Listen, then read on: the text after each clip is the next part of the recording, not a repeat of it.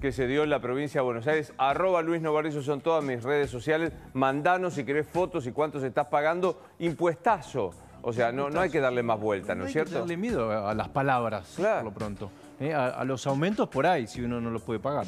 Pero bueno, esto es una decisión que salió de ARBA, que es el ente recaudador de la provincia de Buenos Aires, y que consiste en, viste que se pagan cinco cuotas por año. Bueno, la última viene con un aumento superior al di- 100%. Pero ¿Se puede? ¿Tiene autorización legislativa? Sí, porque hay eh, la ley tributaria aprobada el año pasado, Sí. 2023, establece un coeficiente que dice que puede, puede actualizar. Ahora, ¿cuál es el problema? Y acá está la polémica. Que según el gobierno, esto iba, esto es el plan de, de ARBA, iba a afectar solamente al 9% Claro. de los propietarios. ¿eh? Eh, Son más o menos 450 mil.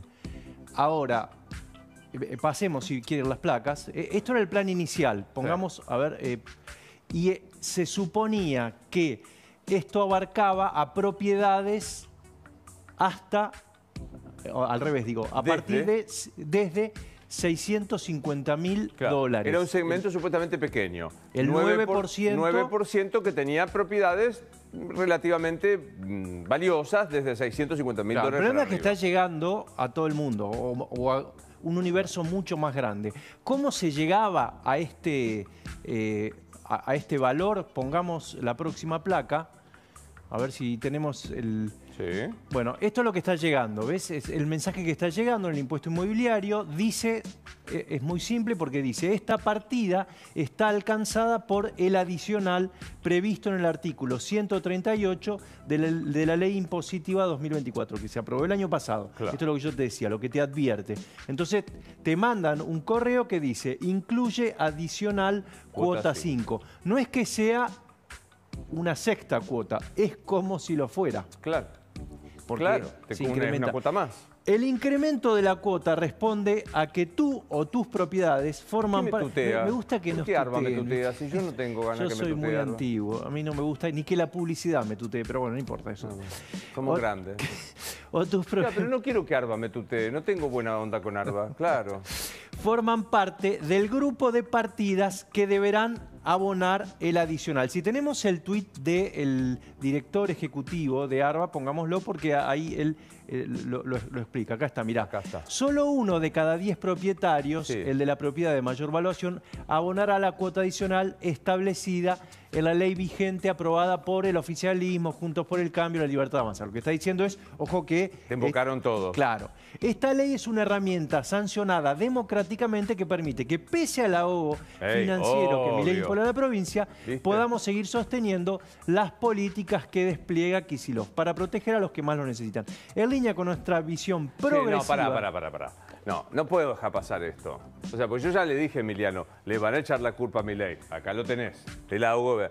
Ahora, para seguir sosteniendo las políticas que despliega Kicillof para proteger a los que más necesitan, che, la provincia de Buenos Aires de la seguridad, de la salud, no pongan nada. Se puede bajar el gasto también, ¿eh? Digo porque... Ah, mirá qué novedoso. Sí, claro. Ah, En línea con nuestra visión progresiva, el esfuerzo Progresi- recae claro.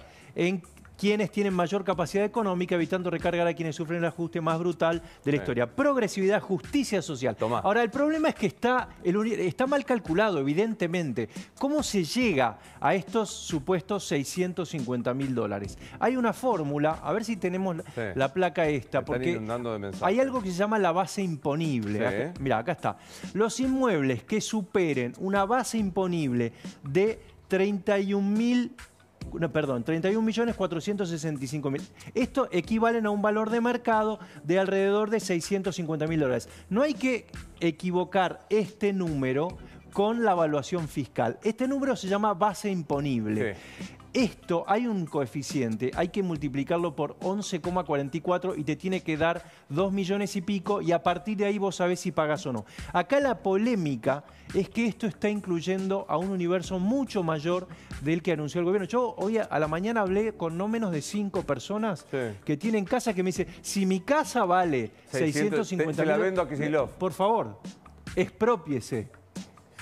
Ahí yo mandé algunos mensajes de los que están llegando en este momento, de los vecinos que no parecen tener casas No, de bueno, por 650 eso. mil dólares. Son casas, eh, más, te diría, algunas bastante modestas. Creo que hay una más, tenemos algunos datos más. Eh, Los inmuebles que Pongamos, si no, bueno, esto es lo que le cayó a la recaudación provincial al gobernador, esto es lo que cayó la, Ah. la coparticipación federal. Claro, en términos reales, hay un ajuste, indudablemente. Esto muestra también que los recursos son escasos. O sea, viste que la política... Pero o digo- emite, como cuando no puede emitir, te sube los impuestos. O te se endeuda. Claro. Digo, Entonces, pero, pero esta, esta la, la- la- la- la- la variante de Pancho Olivera existe también. Baja el gasto. Y puede ser. Yo, por ejemplo, yo en las legislaturas creo que hay mucho para recortar. Sí. ¿eh? Y el- pero te- se mantienen duplicados las estructuras políticas del gobierno Kicillof. ¿Te acordás cuando el año pasado, porque hay que hacer siempre memoria, Cristina le interviene el gobierno Kicillof? Sí. Lo saca a Carly Bianco, jefe de gabinete, lo pone a Insaurralde. En 2021 fue eso. En el 2020, para transparentar, lo pone Martín Claro. Insaurralde. Entre otros. Duplicaron. ¿Qué hizo Carly Bianco? No es que se fue a su casa, se quedó como jefe de asesores y armó una Claro. nueva planta de personal. Digo, ahí hay para hacer alguna cosa, ¿no? Mira, eh, si vos eh, supongamos que la Mira, acá inflación están. dio alrededor. Mira, este es todo el Esta la jura, no entraban en el escenario. Claro. Todos los que juraron, mirá que juran pocos, ministros, y no entraban. Mirá, mirá si no hay para ajustar. Eh, supongamos que dio alrededor de 4 septiembre, algunos dicen que va a dar menos, pero supongamos la, la inflación dio 4. Sí. La inflación acumulada en el año te da 102%, ¿no?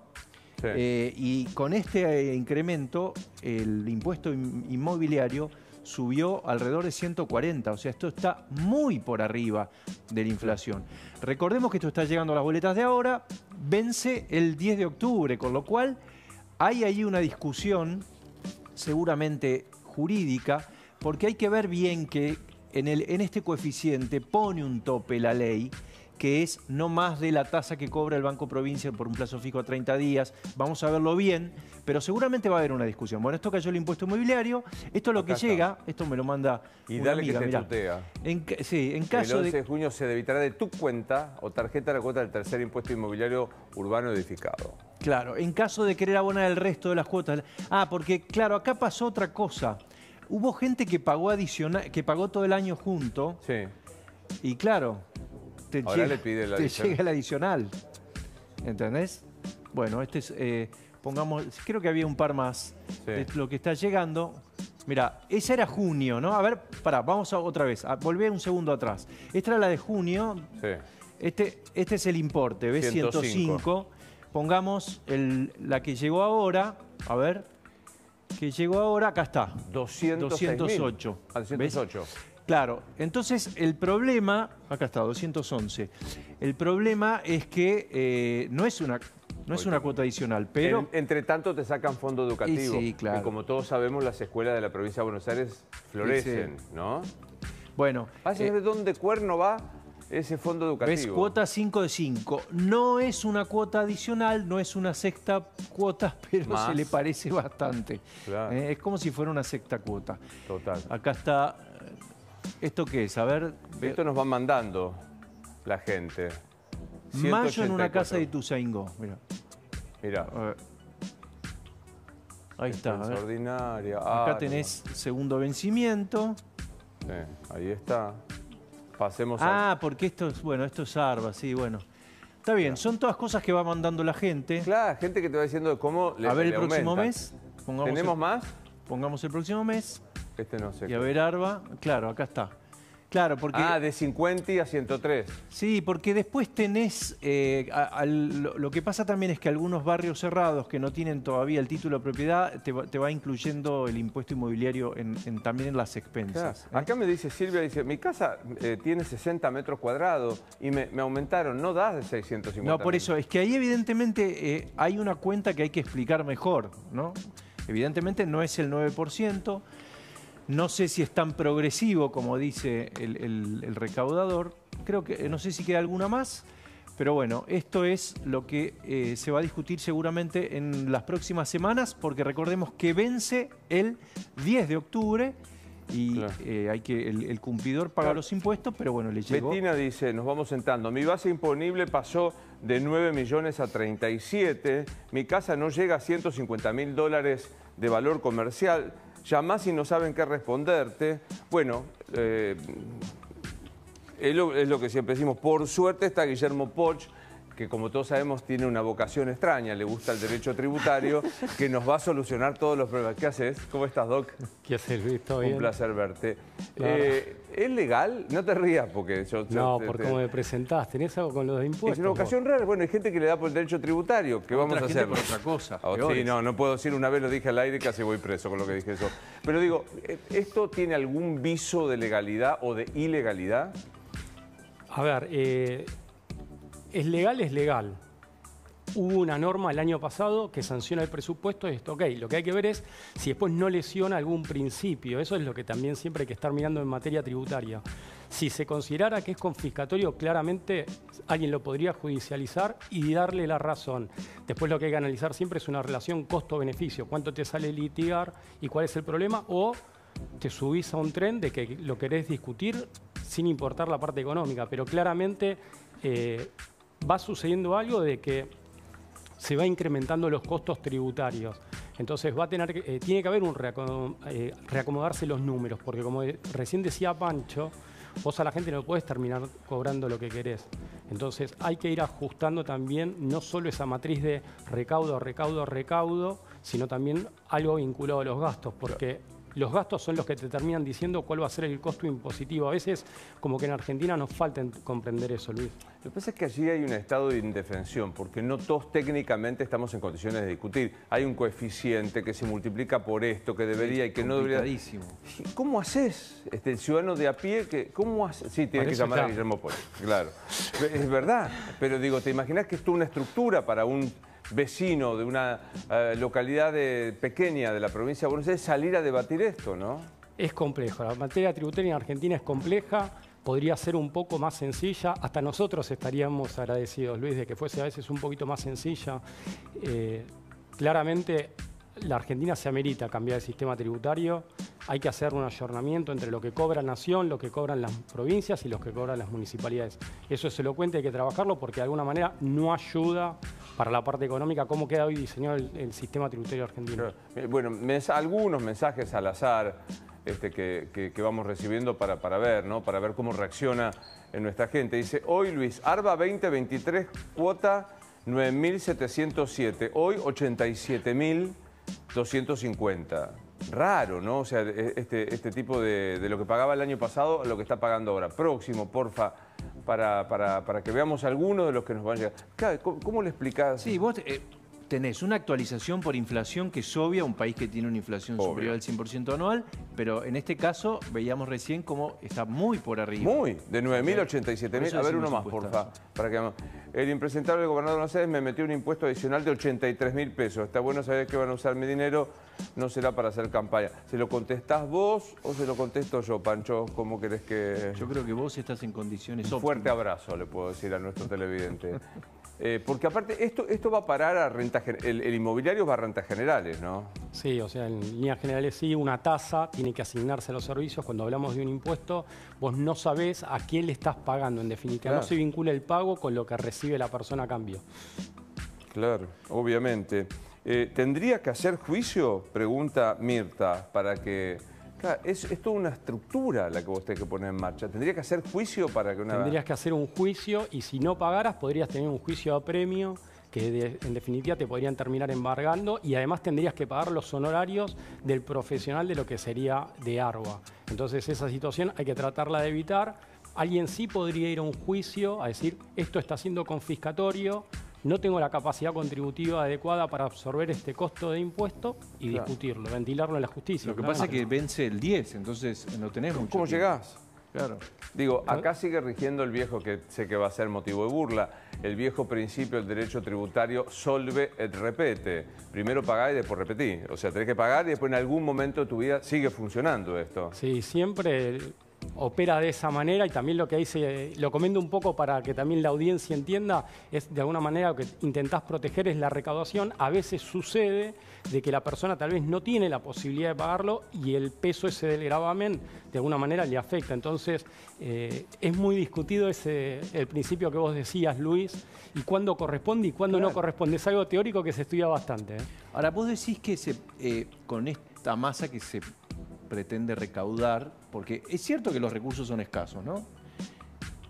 ¿Se puede reemplazar con, alguna, eh, con algún ajuste de otra partida, con eh, baja del gasto? Eh, a ver, hay una cuestión económica Pancho, y otra cuestión política. A veces también los impuestos de alguna manera pueden ser utilizados como Robin Hood, ¿entendés? Vos recaudás de unos para darles a otros. Mm. Entonces también es una herramienta política. Muchas veces eh, es utilizado en ese sentido. Por eso a veces se discute cómo se deben aplicar los impuestos por este efecto, porque en definitiva la persona que te está aplicando el impuesto, la gente bajos recursos dice, uy, qué bueno, está operando a favor mío. Bueno, eso es lo que la explicación del recaudador dice eso que es progresivo y que es solamente los que más tienen. Claro, pero a veces se puede utilizar incorrectamente en ese sentido, porque se, pone en cabeza de alguien esa figura de Robin Hood. Entonces tiene sus puntos a favor y en puntos en, eh, en contra. Claramente no contribuye que porque hoy en día, ¿qué es lo que está sucediendo? Está subiendo mucho el costo tributario, tendría que empezar a haber una merma en otros tipos de gravámenes para que la gente termine de alguna manera eh, más eh, ajustada a una realidad, si no es excesiva la carga tributaria. Hay más mensajes, es re difícil elegirlos al aire, pero hay más mensajes para que veamos con el doctor Poch podría aumentar solo el 300% si el año pasado pagaba 5.000 y ahora 44.000. Explícame el 300%.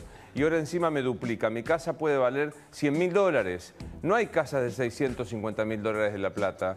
Claro, ni, ni una en un country de la zona de Plata vale eso. Eh, porque ahí es una discusión contable, eh, eh, aritmética, saber de, de, qué valoración estás tomando, ¿no? Sí, siempre puede resultar injusto esa evaluación y la gente eh, no tiene posibilidades de discutir esa evaluación fiscal. Lo que sí lo podría hacer es, de nuevo, ir a la justicia, pero también eso tiene costos, de alguna manera, Luis. Y antes tuvo que estar pagado. Otro mensaje eh, para que tengamos. Payaso, aquí presente. Hablas del impuesto inmobiliario como tarifazo. A ver si sos objetivo de una vez por todas y aprendés a ser periodista e informar. Gracias por la clase. Deja de lado tus preferencias políticas y es solo el 9%, no, no como tu presidente, el tuyo también, que le saca a los jubilados con el tarifazo y lo de relativamente propiedades caras de más de 650 mil dólares. ¿En qué país vivís? Ridículo. No, no, no debo gustarle mucho. Me da, la, impresión, la primera impresión que saco. ¿Para qué mira? ¿Eh? ¿Cuántos adjetivos? Sí, de paso, anónima, no porque es Belén, sin apellido, sin nombre. Está todo, A ver, no me vas a correr con la cuestión jubilatoria hace un Google, ya que tenés, y fíjate cuál es mi posición respecto de lo que fue para mí la meterle, meterle la mano en el bolsillo a los jubilados 14 mil pesos a los que ganan 304 mil pesos. Ahora, suponete que no dijera nada. ¿Justifica el aumento? ¿Justifica el aumento que ¿Estás contenta vos con los servicios que te brinda el gobernador de la provincia por el impuesto inmobiliario? ¿Te parece que es porque, a ver, alguna vez vamos a tener que ponernos de acuerdo con algo. En nuestro país, en un sistema federal, no nos gusta, yo siempre digo lo mismo, cambiémoslo, hagamos otra cosa. Pero hoy por hoy, la salud, la seguridad y la educación son patrimonio de la responsabilidad de las provincias. ¿Estás conforme con salud, seguridad y educación que brinda el gobernador Kicillof? Aparte yo lo digo siempre, por vos y por el más alto encumbrado funcionario de este país. El insulto tiene dos características. Es cuando no tenés más argumentos y califica al insultante. Por lo cual, si vos crees que diciéndome payaso me descalificás, me parece que estás espejando algo que sentís por vos. Hay otro más todavía. Esto vale para todos, ¿eh? para todos los que insultan.